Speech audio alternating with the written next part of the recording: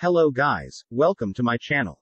Today I will show you some ways to fix unable to find a suitable graphics card with Vulkan 1.1 support error when launched the game on Windows PC.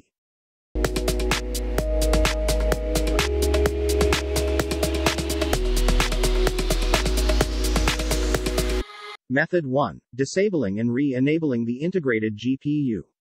Open Device Manager. Double-click on Display Adapters. Right-click on the integrated GPU then pick Disable. Now, relaunching the game and see if problem is fixed. If this working then go back Device Manager and re-enabling the integrated GPU. Method 2. If you are using desktop computer and graphics card, then make sure your display cable is plugged directly on the graphics card.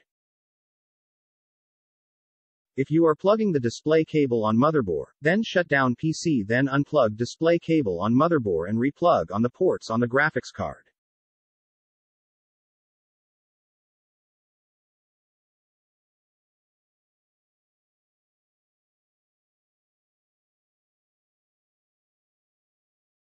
Turn on your computer and relaunching the game and see if problem is fixed.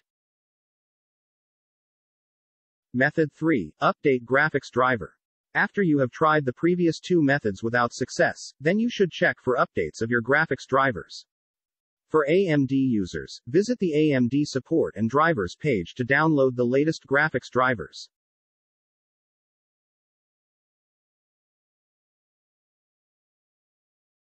For NVIDIA users, visit the NVIDIA homepage to download and install them.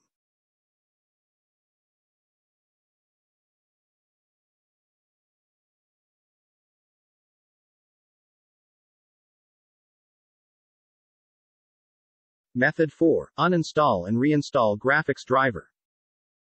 To do that, I recommend using DDU, Display Driver Uninstaller, to completely uninstall AMD, NVIDIA graphics card drivers and packages from your system. Visit Guru 3D website, then download and install Display Driver Uninstaller software.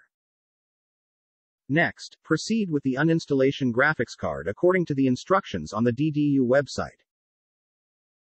After uninstall graphics driver is complete, restart your computer.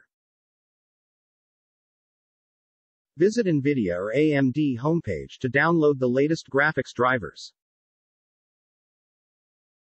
That's it guys. Hope this helps you. Please leave a comment if you have any other methods. And don't forget to subscribe, like and share if this video helps you.